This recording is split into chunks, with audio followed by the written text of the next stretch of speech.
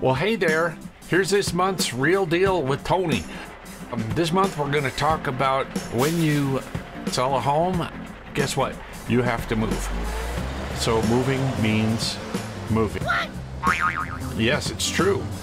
Once you sell your place, you're going to have to move your things. And I can't tell you how many times I've seen this turn into the biggest, uh, most angstful, uh, troublesome issue when it doesn't even have to be that way. So this month, I'm just going to give you a couple of quick tips.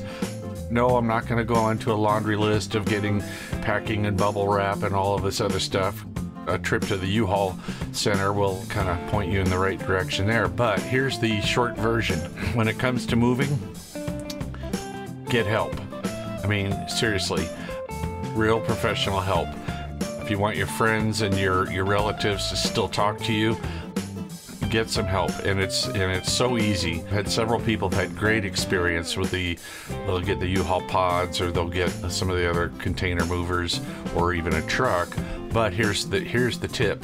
Through those rental places often you can get referrals to movers. And as you drill down into their website some of them will offer a packing service and so now I've watched uh, these guys do this a couple of times, and let me tell you, it was just amazing. Yes, there are moving companies out there, but I gotta tell you, they are like hit or miss. And, you know, one company did great for somebody, and then the second person was just just a disaster. So some people want a little bit more control over their things, but I gotta tell you, moving labor and packing help makes all the difference in the world. And then also, you know, getting organized for the truck load. I mean, it's sort of like a game of Tetris, you know? It's like the, you know things have to kind of fit in slots, and so the the more boxes that you have that are the same size, the easier it's going to be to to stack and load, and then also packing for travel. So you know the stuff that you put in the truck, you want it to get to the place that it's going and not be broken. The only second part of the equation is uh, get, once you got the right help, you want to make sure that you have enough of that help. For example, if you get two guys, you need three.